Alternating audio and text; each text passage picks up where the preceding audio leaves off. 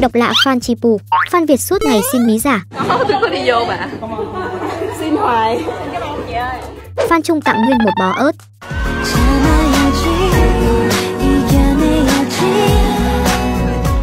Nhưng cũng có lúc cực đỉnh, bao chọn dạp xem phim và MV mới.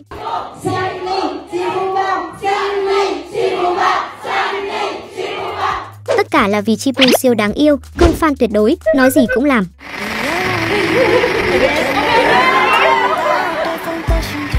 Danh tiếng cỡ nào thì Chi vẫn thân thiện vô cùng, ai gặp cũng thường thôi.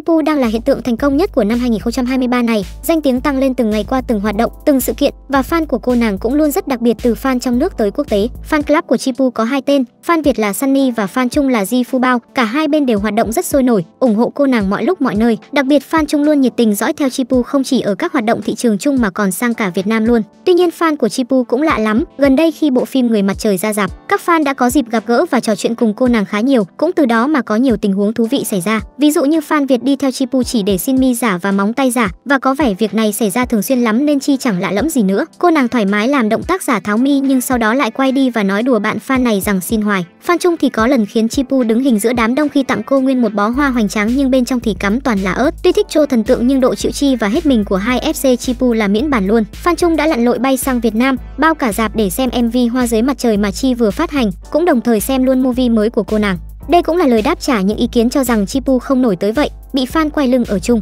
Có thể nói nghệ sĩ nào cũng sẽ có người thích người không, nhưng thành công hiện tại của Chipu là khó lòng có thể phủ nhận.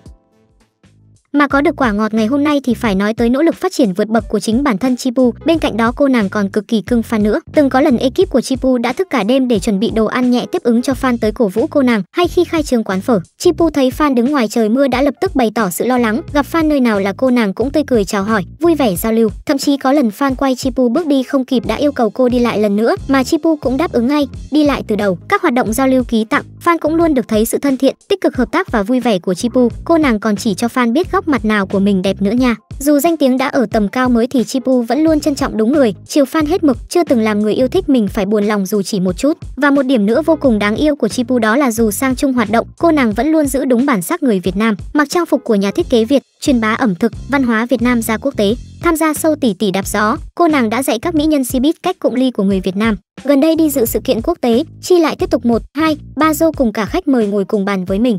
Cư dân mạng Việt rất thích những hành động này của Chi, cho rằng cô nàng dễ thương, phải nói là duyên người qua đường của Chi pu tốt lắm đấy. Và cuối cùng Chi còn ghi điểm cao nữa qua sự quảng giao và thân thiện của mình. Khi ra mắt MV Hoa dưới mặt trời, cô nàng đã tổ chức đi tặng hoa tại đường Nguyễn Huệ, gặp người bán hàng rong, một cô gái nhỏ đang ngồi chơi trong đó hay một bác, một cô nào đó. Cô nàng đều gửi tặng họ một bó hoa, với ý nghĩa mỗi người phụ nữ đều là một bông hoa, hy vọng bó hoa của mình sẽ giúp cho mỗi người nhận được có một ngày thật vui vẻ. Ngoài ra, Chipu cũng ngày càng khiến giới nghệ sĩ Việt yêu thương. Gần đây cô nàng đã gửi tặng hoa và quà tới tất cả các chị đẹp đang tham gia sâu bản Việt như một sự ủng hộ, động viên các chị ở trạng thử thách mới.